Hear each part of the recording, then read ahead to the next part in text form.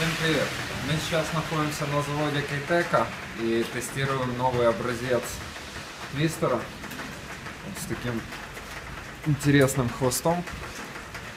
Сделали такое специальное расширение, вот, за счет которого он будет легче заводиться. Ну, это пока, скажем так, ранний-ранний прототип, то есть это еще не отлитая приманка, а сделана из нескольких частей вручную. Ну, в общем-то, игра достаточно интересная, то есть действительно заводится на очень э, медленной проводке, ну вот, ну и на быстрой, в принципе, тоже играет. К сожалению, без груза, вот, но, в принципе, смысл игры понятен.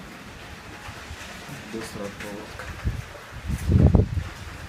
Что еще интересно и хорошо, это очень широкие колебания хвоста, то есть, соответственно, очень, э, скажем так, сильные колебания водной среды, то есть рыбу должен привлекать издалека. Такая очень-очень активная игра, очень активная приманка. Надеемся к лету.